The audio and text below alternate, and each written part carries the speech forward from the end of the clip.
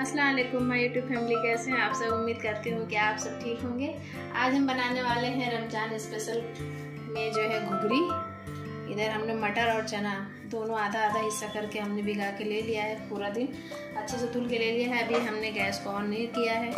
Cooker रख दिया है इधर। अब कुकर में सारी चीज़ें ऐड करते जाएँगे और आपको दिखाते जाएँगे। इधर हमने एक बड़े साइज़ का प्याज लिया है। बड़े साइज़ का प्याज इधर बारीक चॉप कर लिया है। इसको ऐड कर देना है। तीन से चार मिर्ची को बीस से कट कर लिया है इसको ऐड कर देना है। आधा चम्मच हम इधर डालेंगे काली मिर्च पाउडर।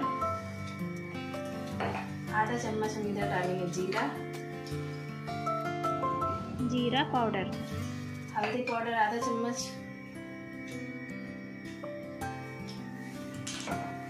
पघार वाला नहीं बनाएँगे आज हम सौंधान उसको बोलते हैं एक साथ में रखने वाला एक चम्मच हम डेढ़ चम्मच हम इधर धनिया डालेंगे भूखी धनिया पाउडर और एक बड़ा चम्मच अदरक लहसुन का पेस्ट एक चम्मच, बड़ा वाला चम्मच से एक चम्मच अदरक लहसुन का पेस्ट अब इसमें हम ऐड करेंगे तेल, बड़े वाले चम्मच से एक चम्मच।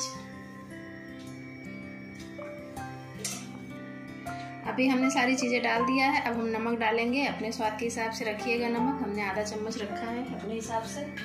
अब इसमें हम ऐड करेंगे पानी।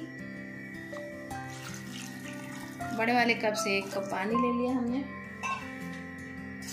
इसको अच्छे से मिक्स कर देंगे।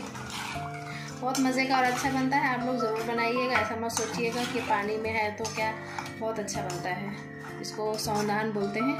अब इसको हम प्रेशर कुकर में सीटी लगा देंगे। तीन से चार, पाँच सीटी, ऐसे लगभग।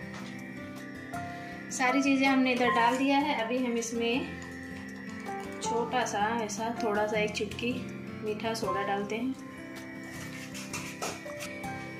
गैस को ऑन करेंगे, गैस को थोड़ा स्लो करेंगे और सीटी लगा देंगे। पाँच से छः सीटी धीमे आँच पे आने देंगे, मीडियम आँच पे। फिर उसके बाद आपको दिखाते हैं। चार पाँच सीटी होने के बाद, इधर देखिए, थोड़ा पानी था, इसको जला लेना है अच्छे से भून लेना है। इसको वापस हमने गैस पर रख दिया है भूनने के लिए। अभी ये देखिए, हमारा कुगरी बन गया है, बहुत मज़े का और जल्दी बनता है और टेस्ट में भी एक बहुत बढ़िया लगता है।